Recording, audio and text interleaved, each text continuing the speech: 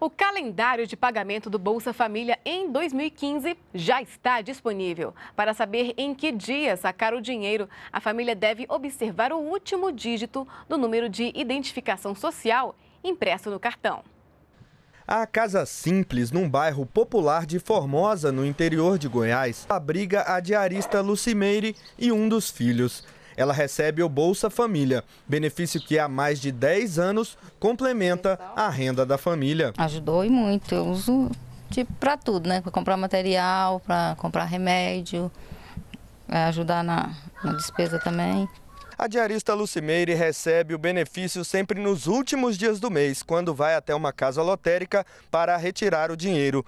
Segundo o Ministério do Desenvolvimento Social e Combate à Fome, no último mês pago, em dezembro do ano passado, cerca de 14 milhões de famílias, como a da Lucimeire, receberam o Bolsa Família em todo o país.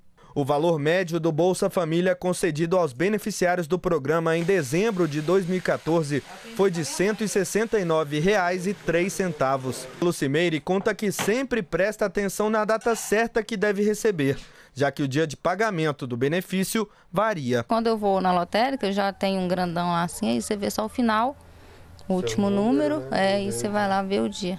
O benefício é pago nos últimos 10 dias úteis de cada mês, de forma escalonada. O pagamento obedece um calendário anual e a data varia de acordo com o último dígito do número de identificação social, o NIS. Para cada final de NIS, há uma data por mês no calendário que corresponde ao primeiro dia em que a família pode sacar a respectiva parcela. Mas se a família não fizer o saque na data indicada, ela tem até 90 dias para sacar o valor.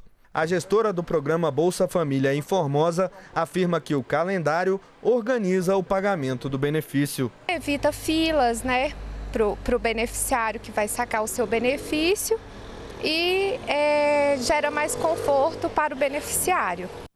Para obter mais informações sobre o programa, acesse o site do Ministério do Desenvolvimento Social e Combate à Fome ou ligue para o número de telefone que aparece aí na sua tela.